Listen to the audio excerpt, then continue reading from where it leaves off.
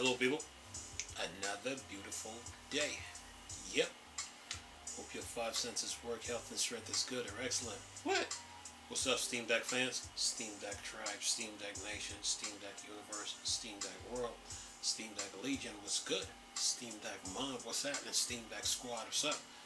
And you Steam Deck nerds, geeks, and freaks, and you investigators, what's happening? Alright, now, let's get into this. We're talking about Steam OS, uh, Steam OS 3.5, 3.58 pre, uh, 3.58 preview flatline. It says no, this update is for is for Steam Deck preview channel and includes new features that are being tested. You can opt into the settings system Steam update channel. General, fix an issue where modifying settings in the desktop partition manager could prevent the SD card from being mounted and visible in Steam. Fix an issue in desktop mode where dropping a folder on the desktop would enormously create a shortcut for every item within the folder. Graphics and, and performance.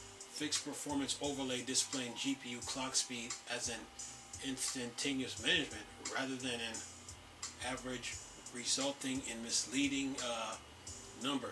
This matches behavior of the SteamOS 3.4.11. Fix a problem with elevated noise level for trackpads pressure sensors affect only certain configuration.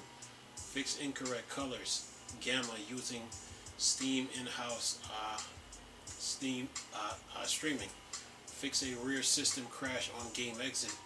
Fix an issue in certain HDR titles where wiggling the cursor on the same frame as closing the game would cause incorrect colors in subsequent game launches. Uh, improve situations where game frame presentation could block because buffer submit by Steam or other Windows remove potential source of game stutters. Mm. When the game limiter and VSync is enabled, the performance overlay now shows frame timing based on when they are flipped on to display rather than when the GPU rendering would complain. The GPU-based timing are still visible on level 4 settings. Fix an issue causing stuttering in certain games that buffer multiple frames in advance. Miscellaneous compositor performance improvements.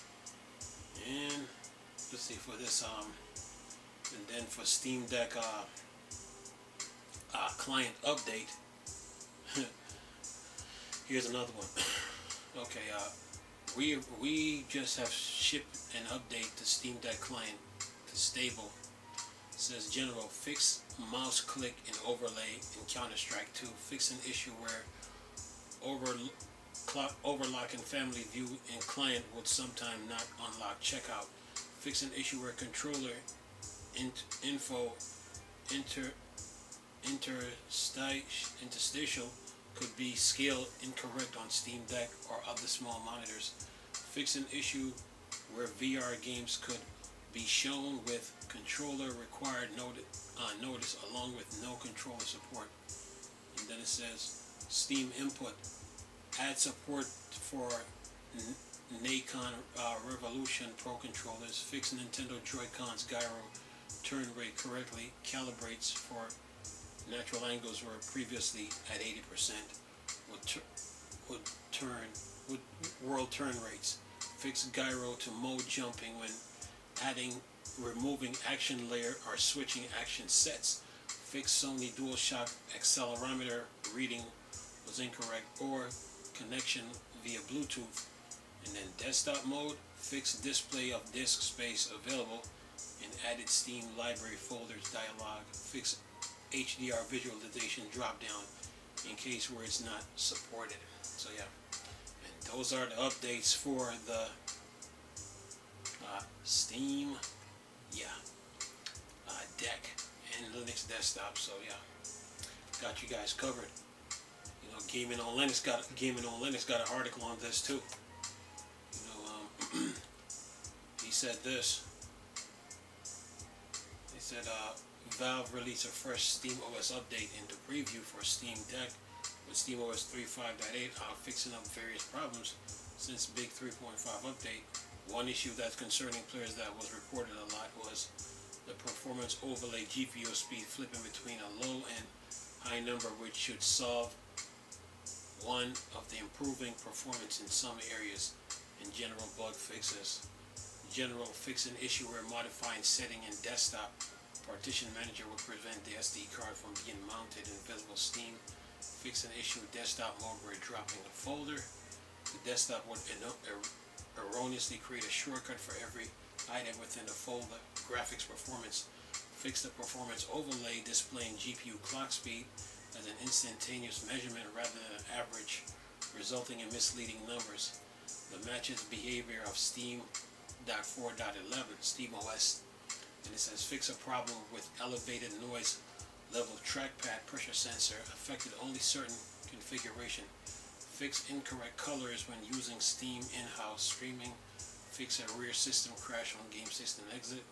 Fix an issue in certain HDR titles where wiggling the cursor on the same frame as closing the game would cause incorrect colors in subsequent game launches. Improve situation where a game frame presentation would blocked because of buffer submitted by Steam or other Windows removing potential source of game stutters when the frame li limiter or VSync is enabled.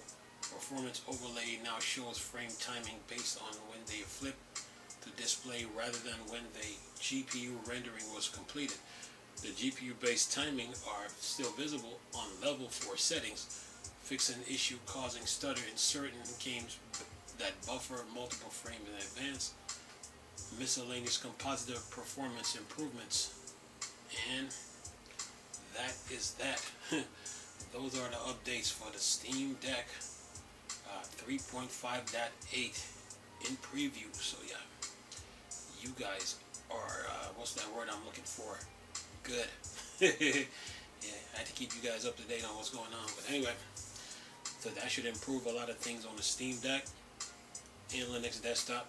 So yeah, make your gaming experience more better. Yep. Anyway, I'm going to leave a video, leave this video for y'all to enjoy. Nice talking to you people again. Chris, still Star Wars and Star Trek thing. Or Dark Side. Oh.